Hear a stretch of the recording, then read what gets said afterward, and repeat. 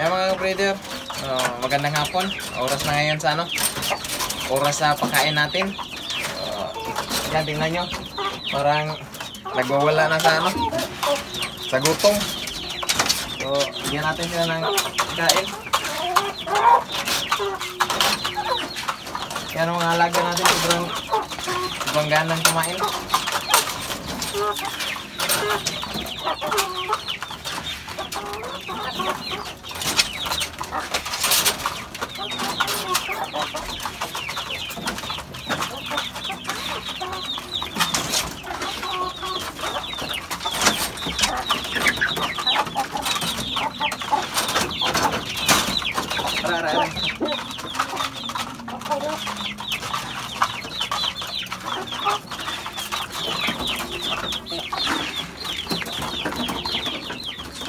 Yan.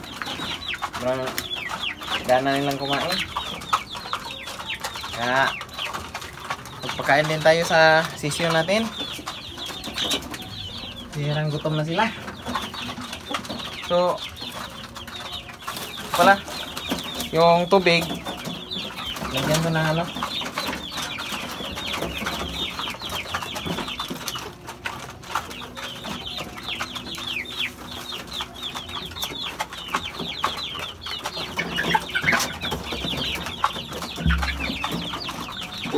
sa hapon, yung tubig nila, nilagyan ko na ano, Vitamin Pro para multivitamins nila.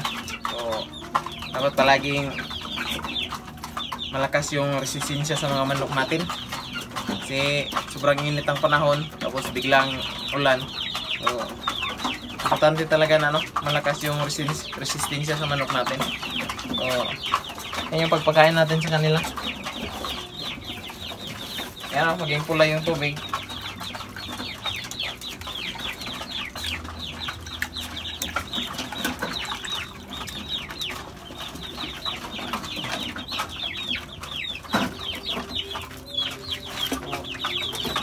Iba kasing hin natin, hindi kumakain na ano, hindi kumakain ng dry. So, medyo basahin natin. Yung iba, sanay naman kumain ng ano, ng dry. So, sisyo natin. Gutom na.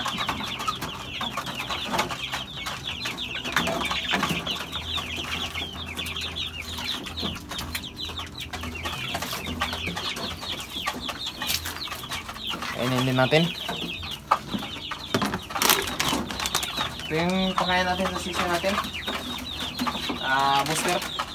Blue. Ah, baby stag booster.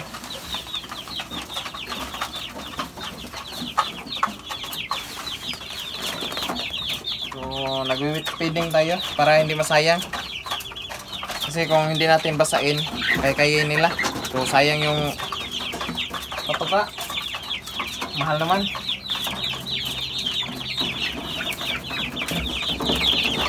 Yan o. Maraming bilis silang kumain. Gana sila sa ano. Ah, medyo basa na pagkain.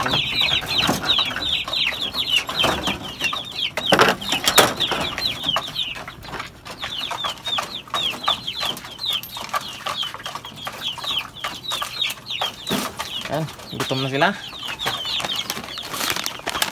So, nagwi-wheat feeding tayo. Kasi, sayang kung ma, ano na nila. Ang tawag yan, kaykayin. So, mahulog sa ilalim, hindi na makain. Yan, bigyan natin sa mga gutom nating alaga. So, budget pala natin sa ating sisyo sa ganito kang karami. Isang kilo, isang araw nito. Sa sisyo, sa sisyo lang yung budget natin. Sa ganito karami sa tatlong ano kulungan. Ah, maubos natin, maubos nila to ah, isang kilo, isang araw. Ganyan kagastos yung ano pagpapalaki ng sisiyo. So, kasi yung limang bisis natin to pinapakain sa isang araw para mabilis lumaki. So, bago tayo matulog, pinapakain pa din natin to. Mga alas 10 ng gabi. Para mabilis talagang ano, lumaki.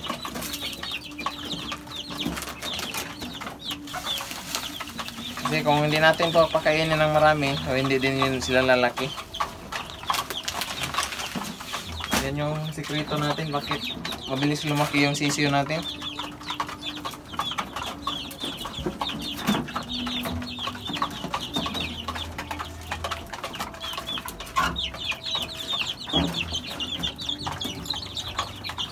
So, yung tubig pala nila dapat ano? Yung tubig sa umaga palitan talaga natin ng bago sa hapon kasi papanis yung ano yung tubig. Kaya pagkadumi so dapat palaging malinis. Napaka-importante yan sa sisyo natin na hindi makainom ng ano, tubig na may naiputan nila. Kasi dyan magsimula yung ano pagkasakit sila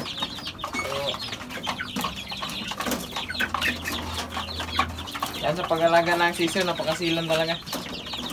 Kasilan yung pag-alaga ng sisyo kunting pagkakamali lang natin. No? Hindi nang mamatay yung sisyo natin. Tapos sayang. Kasi medyo may presyo yung ano sisyo natin yung materialis sa patuka mahal. So importante na no? Lagaan natin silang mabuti. So pagkatapos silang kumain? I-check ko yan kung may laman ba ba wala na. Tapos lagyan ko ng ano? Tubig. Yan yung tubig nila oh, napakapula.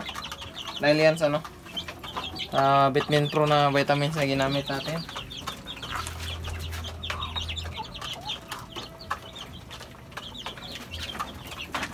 Saka yung naglimlim natin, bigyan din natin ano, pagkain. Kasi may naglimlim tayo dito. Dalawa.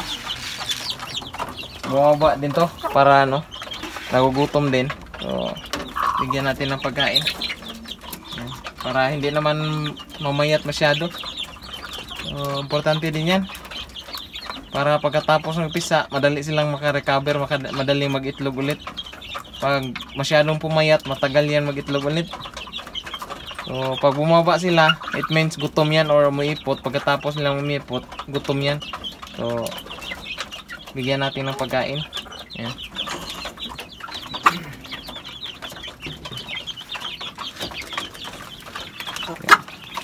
Ito yung ano, kahit maliit lang yung area natin, uh, puno natin to sila ng ano, puno natin ng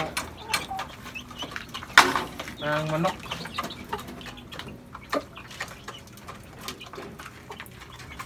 Yan. Ganda na tingnan. Tapos may paparating pa tayo.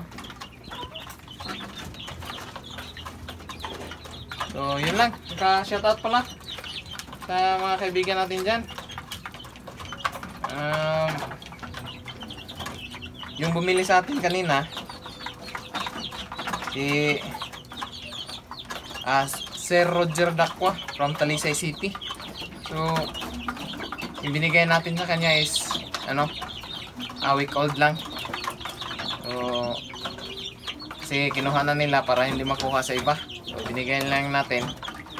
Kasi pag hindi natin to binigay, baka mapili ng iba. Uh, mayroong pupunta kasi dito. So, ano naman tayo kung hindi natin mabigyan kung meron tayong sisiyo. So, sabi, sinabihan ko lang siya, Boss, kunin mo lang to yung sisiyo para makuha ng iba. so, yan lang. Yung araw na ito, hindi tayo hindi tayo na zero kahit ano. Ah, Holy Week, may binta pa din tayo. So, ganyan na napakaganda mag-alaga ng manok. Lalo na nitong mga breed natin na mabinta talaga. So, maswerte tayo dahil ito yung ano, hilig natin na kulay tapos maraming nagkagusto. So, napakaswerte natin. So, dagdag tayo na ano, materials na ano, pang backup natin sa budgak.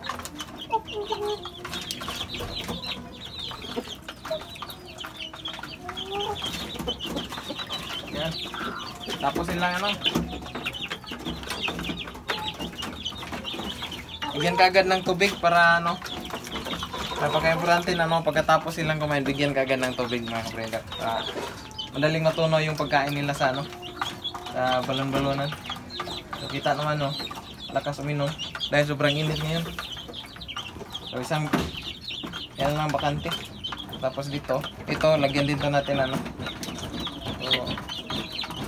Lang, yung ano, unti-unti yung ano natin ng mga materials natin, unti-unti nang dumadami. So, ah, maraming salamat sa lahat ng na, naging ko, nag, gustong kumuha sa atin, at saka nabigyan ko. So, maraming salamat sa iyo. Yung taga Talisay. So, yan lang.